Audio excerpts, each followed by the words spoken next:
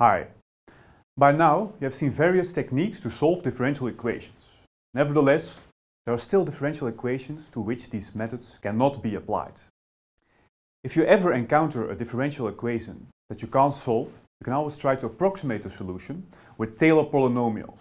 As an example, I will give an approximation of a solution of the Airy equation. The solutions to the Airy equation are called Airy functions, and they were introduced in the 19th century by the British scientist George Airy when he tried to understand how rainbows are formed. Let's take a look at the Airy differential equation with the initial values that you see on the screen. The Airy equation is a second order linear equation and it is also homogeneous. However, this equation doesn't have constant coefficients and there is a term x times y in the equation. This means that you can't solve it using the techniques that you have been working with so far. Let's say f of x is the solution of this initial value problem. We are going to construct an approximation of the function f of x using a Taylor polynomial of degree 1. Since the initial values give us some information about the behavior of the solution in the point x is 1, we'll look for a Taylor polynomial centered at 1. You can see the general form of such a polynomial on the screen. The initial values that were given tell us that the solution that we are looking for must have the value 2 in x is 1 and its der derivative must be minus 1 in x is 1. This means that if we simply replace f of 1 and f prime of 1 respectively by 2 and minus 1, we get a Taylor approximation of f of x of degree 1. We didn't even have to use the differential equation itself. The orange graph that you see here is the actual solution of the initial value problem that we started with. The blue line is the Taylor polynomial of degree 1 that we found to approximate this solution. You can see that near x is 1, this line indeed gives you a good approximation.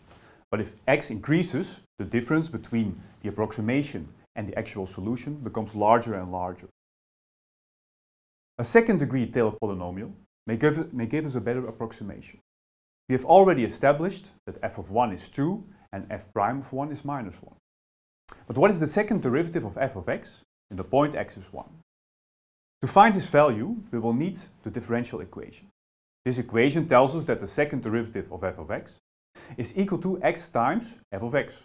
So the second derivative in x is 1 is equal to 1 times 2. If you plug all these values into the general formula for the second degree Taylor polynomial, then we get the Taylor approximation that you see at the bottom of the screen. The blue line that you see here is the graph of the Taylor polynomial we just constructed. It is already a better approximation of the orange graph than the Taylor polynomial of degree 1. The higher the degree of the Taylor polynomial, the better the approximation. Now at first sight, you might think that it is not possible to construct a Taylor approximation of degree 3. The differential equation only gives us information about the second derivative of f of x. However, there is a way to compute the third derivative.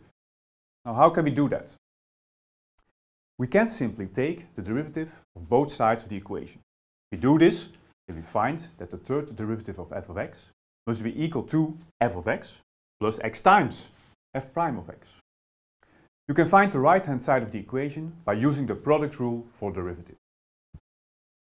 This equality then allows us to compute the third derivative of f of x in x is 1 and to construct the third de degree Taylor polynomial that approximates the solution of the original differential equation.